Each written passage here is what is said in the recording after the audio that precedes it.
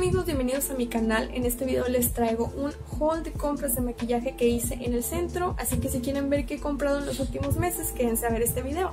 Y pues bueno, vamos a iniciar con las compras que hice en la Guadalupana. Primeramente iba a la Guadalupana porque quería comprarme una base que había visto en el canal de Jamie Rock y de Evelyn Mar, que habían dicho que era una base muy buena para pieles grasas, que fue esta de Ellie Color, se llama Truly Matte y la compré en el tono nude. La verdad es que está bonita, no te controla al 100% la grasa, pero siento que está súper bien. Me costó nada más 79 pesos, así que para 79 pesos se me hace que está súper súper bien.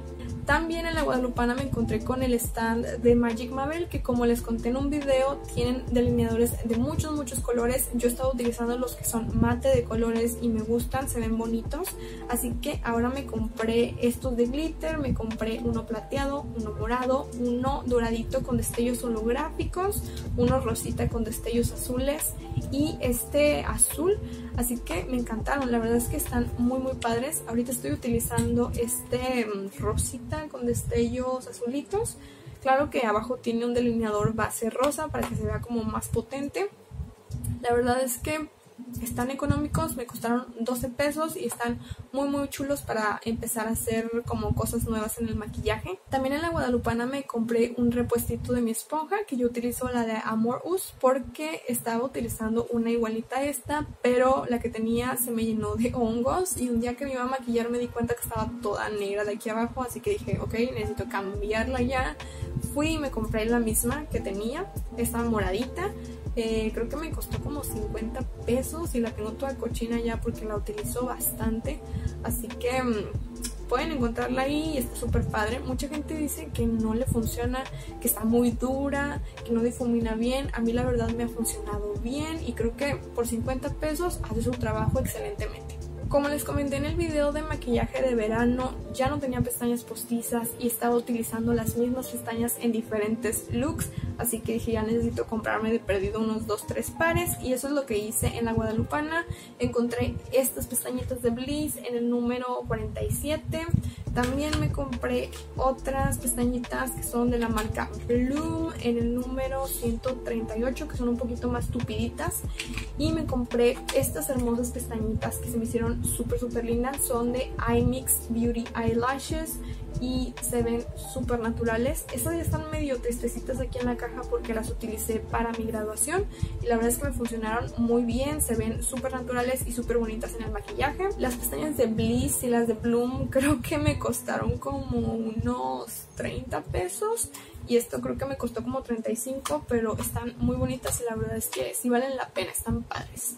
Ahora voy a continuar con productos que compré en el centro de Monterrey en diferentes tiendas. Primero me fui a Fantasía Fena Monarca a surtirme de mi polvo de Italia Deluxe, que como les comenté me gusta mucho más que el de Bisú. Lo siento Bisú, amo Bisú, pero la verdad es que este polvo es muy bueno para pieles grasas. Yo utilizo el tono Toast, que es el 812.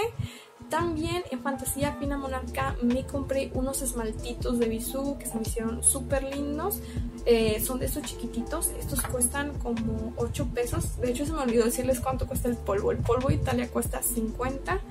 Y estos esmaltitos de Bisú, como les digo, cuestan 8 pesos en mayoreo. Me compré este color amarillito que no tiene nombre. No sé qué, qué tono sea, pero está cute, está lindo.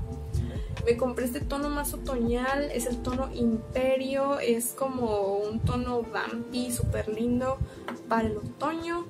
Me compré este tono azulito metálico que es el tono velo nocturno y me compré también este tono como nude que es el que quería utilizar yo para mi graduación que al final terminé utilizando nada porque se me olvidó pintarme las uñas, pero igual lo voy a usar. Este es en el tono Sueño del Sahara y está súper, súper bonito, así que ahí los pueden encontrar en Fantasía Fina Monarca. Y después me fui en busca de una paleta de sombras nueva. Estaba en la mira de la Cara California porque se me hace que es una paleta súper versátil y súper bonita, pero creo que ya no la tienen en la Guadalupana.